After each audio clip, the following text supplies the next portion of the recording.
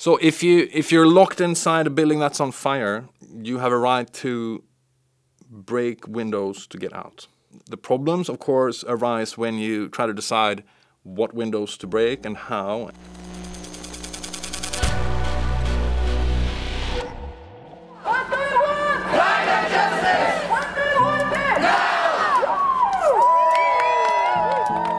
Staan in het Bloesempark. We zijn aan het voorverzamelen en een beetje aan het voorbereiden voor een actie die we straks gaan doen. Voor het klimaat en tegen de grote vervuiler Schiphol. Ik heb geen idee wat we gaan doen. Het is een uh, geheime actie. En als mensen dat al weten van tevoren en dat dan bij de politie terechtkomt of bij Schiphol, uh, dan gaat de actie niet door. Um, dus het is eigenlijk dat we het niet weten zodat we het kunnen doen. Dus eigenlijk heb ik geen idee wat ik kan verwachten en vind ik het best wel spannend. Ondanks dat ik bang ben, ben ik eigenlijk banger voor klimaatontwrichting en ben ik ook boos dat Schiphol door kan gaan met wat het doet. Daarom denk ik dat het soms nodig is om dingen te doen die je eng vindt of oncomfortabel vindt, om tegen te gaan dat er nog engere, nog oncomfortabelere dingen gebeuren. Please form! Please form! Rows of six people! Of six people! We staan nu uh, klaar om de wandeling te starten en uh, ik denk dat we ieder moment kunnen gaan lopen.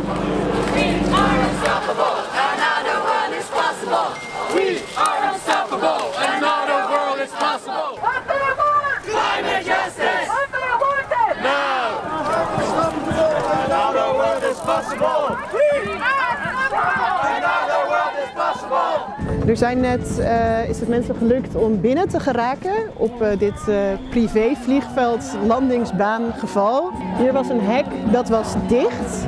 Dat is op een bepaalde manier open gegaan. en toen waren er mensen naar binnen gegaan en die hebben ondertussen de vliegvelden, ja, de vliegtuigen bereikt. Dat zijn privéjets. Nou, privéjets zijn de meest belachelijke voertuigen om nu nog te gebruiken. En nou, daarom ben ik super blij dat er mensen ja, hun lichaam en hun tijd in de strijd zetten om dit tegen te houden. Um, ik sta nog hier. Mij is dat uh, niet gelukt om daar doorheen te raken. Ik werd net uh, even vastgehouden tegen het hek. Maar uh, ik ben super blij dat het mensen gelukt is om op het terrein te komen. En ook ja, de aandacht vestigen op dat dit gebeurt. Dus ja, ik ben tevreden. I think the climate movement is the source of hope that we have in this world right now. Uh, you know, the trends are all pointing in the wrong directions with more emissions, with uh, astronomical profits for the oil and gas companies, pouring them back into further expansion of fossil fuel installations. And in this very bleak moment, it's the climate movement and the activists that make, uh, make it up that you know represent some kind of reason and uh, connection to reality and uh, they insist on um, an end to business as usual and uh, clearly we can't rely on states and governments to end business as usual. They're just perpetuating it. So we ordinary people have to do it. I think that we should focus on trying to stop new fossil fuel installations uh, because that's what we just cannot take anymore. And we should focus on that by trying to inflict material and financial cost on the companies engaged in those projects. And that can range from sabotaging new pipelines or gas terminals or coal mines to going after the company headquarters and the companies behind these uh, projects. Just one case Total, the single largest private company based in France right now, is building the East Africa crude oil pipeline, which will be the world's single longest heated pipeline, causing a mind-boggling amount of CO2 emissions. There should be a movement targeting that pipeline project and the company behind it and make sure that that pipeline is never built and that the oil it's supposed to convey is left in the ground and uh, in the last instance that this company Total uh, is turned into something else than an oil and gas company because we can't have oil and gas companies anymore. That, that has to come to an end that very phenomenon. I also think that we um, have uh, reason to focus on luxury emissions. So these extreme emissions that are caused by the ultra rich and we should remember that uh, uh, the richest 1% of humanity has emitted more than twice as much CO2 as the poorest half of humanity of the past three decades. That's, to me, uh, a dizzying number. And the ultra rich keep expanding their share of total emissions by having this kind of profligate lifestyle where they uh, drive around in multiple SUVs and private jets and super yachts. And these objects are ripe for disruption, I think. It's up to the climate movement to uh, make sure that there are principles and rules and limits for how to go about these things.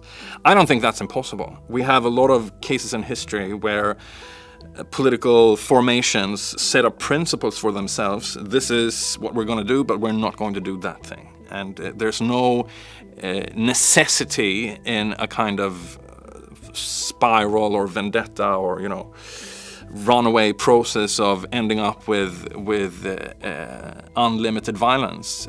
I think. Well, there is full agreement and consensus in the climate movement that we should not engage in any kind of violence against people. That's totally out of the question. No one is uh, even considering that.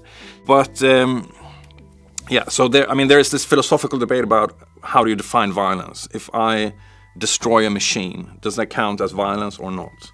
I think the important thing to remember is that when it comes to the climate crisis, the violence that is being perpetrated is in the production and combustion of fossil fuels because these acts actually kill people. We know that. Thousands of people have been killed over the past months in countries such as Pakistan or Nigeria uh, from floods.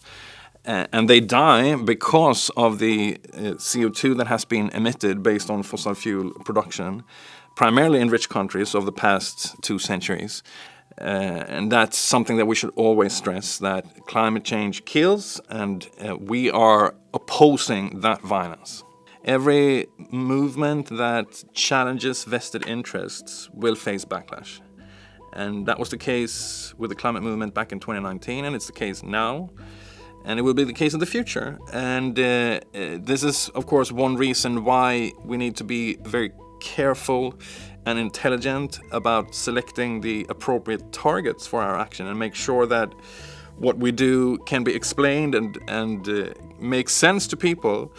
So uh, this is in distinction from, for instance, these uh, sabotage actions against the Nord Stream pipelines that are very unclear. We don't know who did it and why. It has some kind of relation to the war in Ukraine, it appears, but it's completely opaque and it's not part of any climate struggle and it causes great environmental damage with the methane leakage. So it's the perfect case example of what sabotage shouldn't look like disruptive tactics are by definition illegal. I mean, civil disobedience isn't legal either. You don't have a legal right to go and shut down a square as the Extinction Rebellion did in 2019. Uh, so I don't see any problem by definition of breaking the law.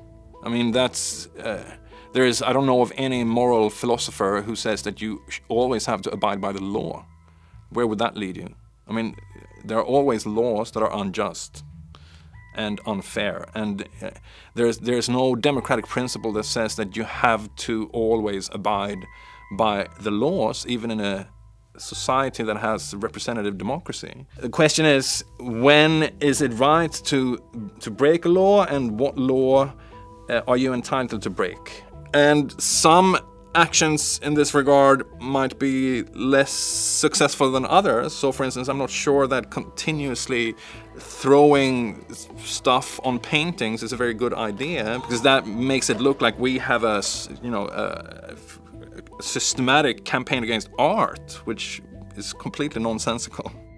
I think this is a process of trial and error where we'll need to learn what works and what doesn't work and uh, obviously revise our tactics as we go along and concentrate on, on what's most uh, effective. Human.